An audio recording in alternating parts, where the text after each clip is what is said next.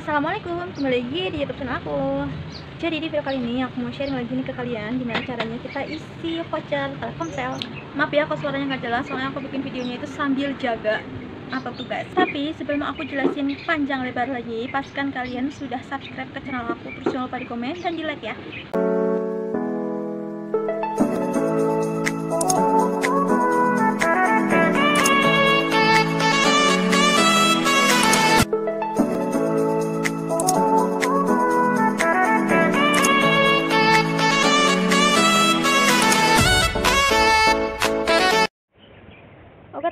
jadi pertama kita langsung aja masuk ke telepon.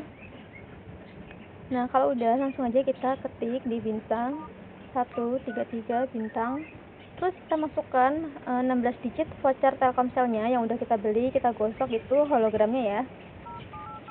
Nah kita masukkan aja itu e, pokoknya harus tepat. Itu biasanya angkanya itu ada 16 digit. Nah, kalau udah 16 digit, kalian tinggal kasih pagar aja di belakangnya.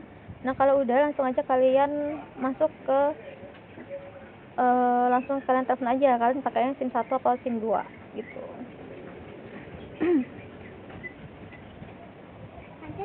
nah, kalau misalkan gagal, kalau misalkan gagal masih nggak bisa juga pakai cara yang tadi, kalian lakukan ini dulu baru nanti kalian coba lagi cara yang tadi ya. Oke, jadi kalian harus melakukan pertama, kalian harus mode pesawat dulu. Kalau udah mode pesawat, kira-kira ya satu menitan lah ya. Kalau enggak dua menit, kalian nyalakan lagi mode pesawatnya.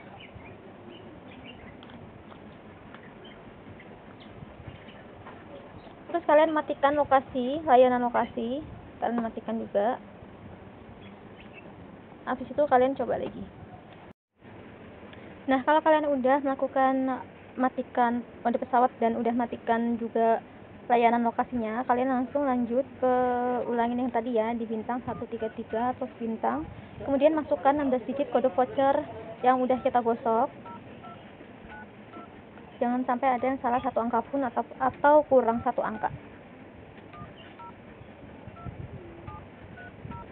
Kalau udah langsung aja kita kasih pagar di belakangnya.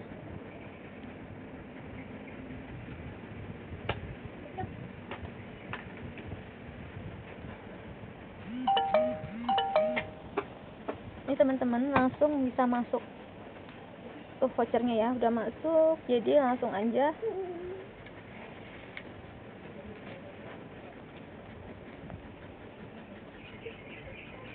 Oke teman-teman, semoga kalian uh, semoga bermanfaat untuk kalian. Terus jangan lupa pastikan kalian subscribe ke channel ini. Terus jangan lupa kalian share juga dan di komen. Bye bye, see you next video.